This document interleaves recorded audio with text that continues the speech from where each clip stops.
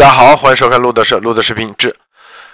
国际形势。今天是二零二四年九月二十九日，美国东部时间，现在是这个下午时间啊。这个日本新任首相啊，叫石破茂啊，他这个呼吁美国部署核武器在亚太地区，并且呼吁建立啊，建立这个亚洲的地区的北约啊。我这字打错了啊。忽悠不是呼吁啊啊！亚洲的北约，所以很多人说啊，他是什么什么亲日的呃亲中的，实际上他不是亲中啊，他是很有详细的主张，其实就是建立亚洲北约对抗中俄朝的核联盟，要求美国啊来直接核武库直接放在日本啊这些地方。这建议日本需要自己的核武库来加强国家安全，啊，你怎么看这个事情？聂先生分享一下。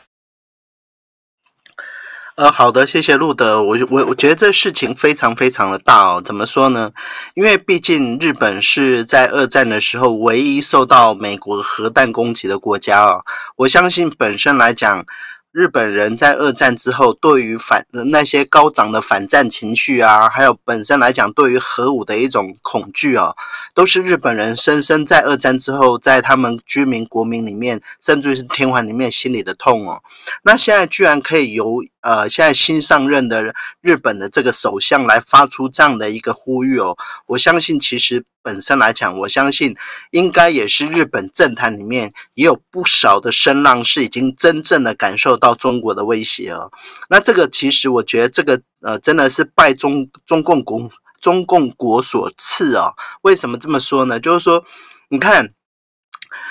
整个二战之后，整个呃战败国是日本国跟德国嘛。那德国甚至于因为呃整个。那时候，呃，那个跟呃苏联所讨论的结果，哦那导致东西德的分裂嘛。那现在好不容易东那个东西德也合并了，德国也统一了。那事实上，整个德国跟日本在战后借由这些民主国家的程序。哦，成立国会，成立议会，然后甚至于慢慢的步向民主。虽然他们有可能德国之前在二战前，他也是假性的民主嘛，或者独裁式的民主。可你看现在，他们本身来讲，国家该发展的发展，然后整个你看，像我们大家都知道的双 B 啊、马赛迪啊，或者是说 B N W 啊，他们其实在做这些国民车，你看亚洲人也都是非常喜欢嘛。所以说，其实有很多的工业，包括日本，他们在这个材料加工，然后机床。然后，甚至于在高精密的这些武器的这个研制啊，还有研发方面，我相信日本绝对不会输以色列哦。那事实上，其实日本现在只是因为还没有开战而已。但是，你认为难道日本的科技就会输以色列吗？那更何况以色列，你看他这一次在这个斩首真主党这个领袖的时候，又做的这么漂亮。对不对？所以说，事实上，我相信整个本身这个呃，美国、以色列，甚至于跟日本还有英国这些呃西方民主国家，他们的科技的日新月异哦，绝对不是中共国跟那个呃俄罗斯本身这些独裁者国家所可以去了解的，而且档次差很多。那这一次，其实你看，能够让日本的首相公开的这样呼吁，我相信，其实美国在整个背后应该是没有去，呃，没有去阻挡的。哦。那光这一点，你看就差多少了？那事实上，其实由这件事情可以缓慢去延伸出一个，就是说，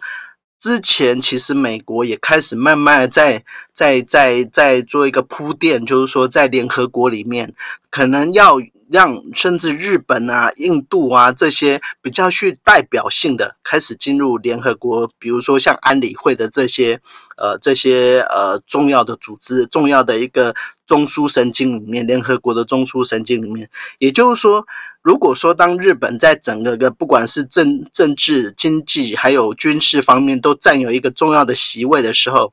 那是否？当然，你你说我们二战刚才的亚洲很多国家，包括菲律宾啊这些东南亚国家，才饱受日本的侵略，是否应该对他怀有一一份忌惮？当然，这些忌惮，这些这些以前呢所要做的这些防堵的措施是一定要有的。可是问题是，本身来讲，你看这。二战到现在将近快七八十年了，那你看这些整个的日本的整个从战后的一个发展到现在，然后整个的跟呃和平宪法，还有本身呃在这个呃像绿色啊、环保啊这些日本积极的参与以外。我相信，事实上，美国对日本不是说没有防着，而是美国在整个在军事的部署上面，他们是有一套机制的，而这套机制就是一个安全机制、安全级别的审计、审核非常严格的审查。那也就是因为有这样的一个审查，经经由常年的一个监督，然后经由常年的考验。然后现在慢慢让日本可以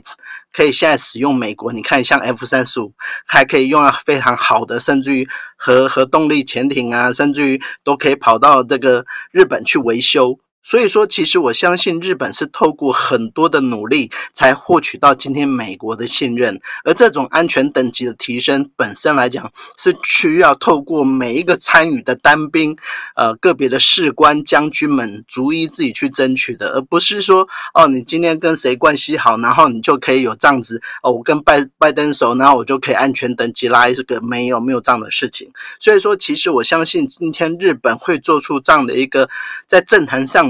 丢出这样的一个震撼弹来，即便中共国要去反对，我相信其实如果只要美国不反对的时候，这个对于日本来讲都是一个非常清楚，在国际不管是政经局势上的一个跃升的一个呃一个一个一个踏上一个台阶的事情，而这个也是明面化了。所以说，如果说像。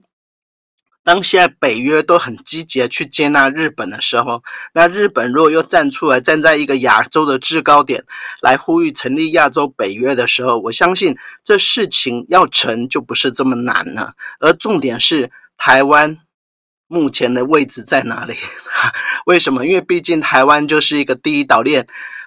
位居重要位置中央嘛。位居重要位置不成的航空母舰嘛？那如果说这时候如果说可以又因为日本的关系，让台湾也慢慢的进入这样的一个国际社会的舞台里面，甚至于在军事上、在政治上，甚至于在呃经济上已经很重要了啦哦。那甚至于在重要的情报的分析上面，都能够彼此来去相互的协助的话，我相信其实对民主国来国家来讲，这都是一个非常好的。加加强这个壁垒的一个跟巩固这个民主阵线的一个方法。那我相信，其实日本本身现在所做出来这些呼吁哦，绝对不是空穴来风，甚至有可能是已经获得到美国首肯了才会这样做。好的，路德，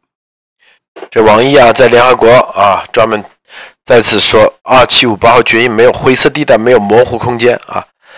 这个，你看，这其实，在联合国现在正在啊全方位的。做各种啊博弈啊，这种博弈啊，台湾这里应该也要努把力啊。当然了，这个中共在在联合国投入巨大啊，各种方式，邪恶的都有，也有钱啊，这买通这些南南国家。所以，但是这就是我们在二零二一年，我记得十月份，十一月份全世界咱们第一个提出二七五八号决议，到现在全面的发酵啊，成为一个战场。你有些人你怎么看啊？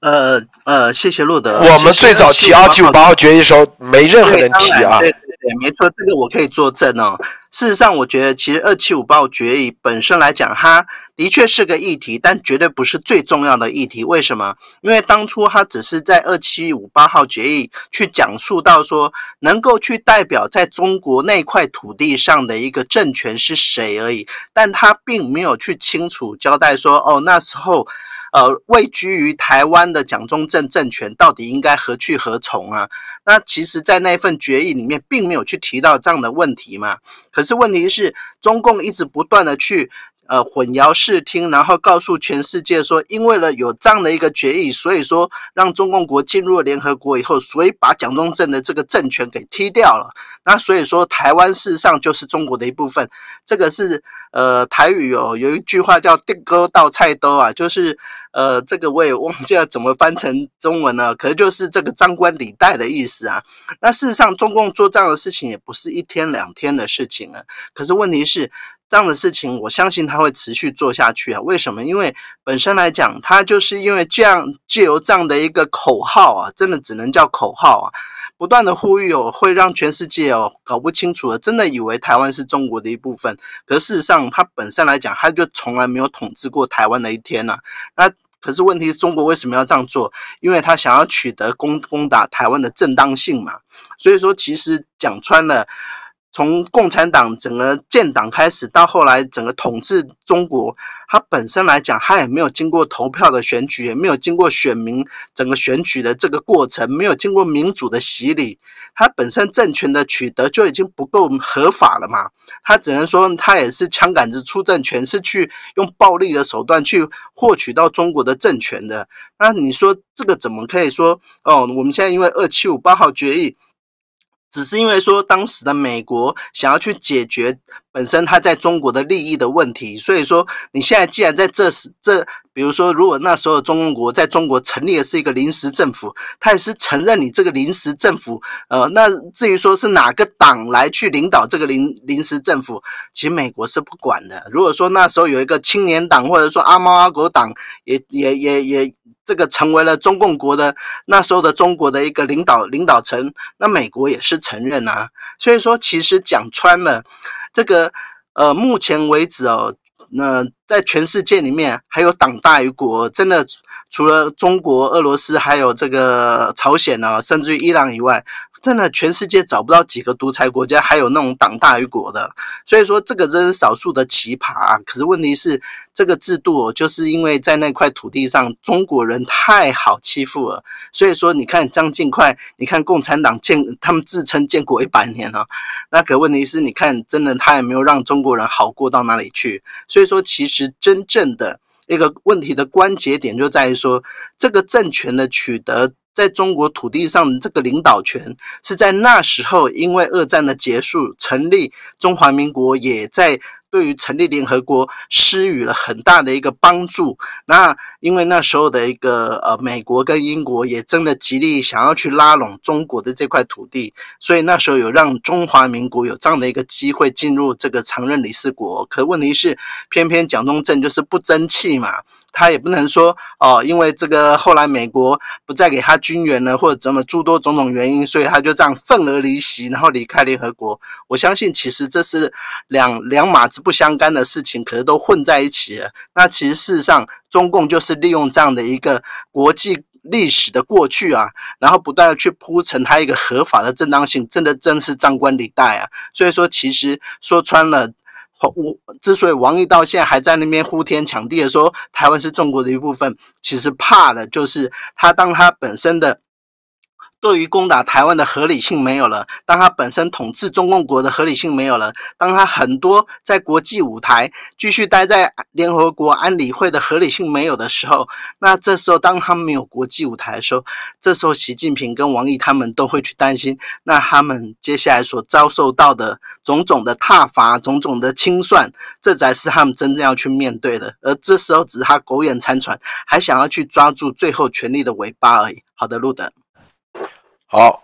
这个二九八号决议啊，嗯，其实中共也知道，这全面的推动就是把中共彻底啊，这个所谓的对他们在联合国的地位的第一个决议，从根源上彻底给它清除掉，这是关键啊。这个战场最终中共一定会输，百分之百啊。好，咱们这期节目就到此结束，不要了点赞分享，再见。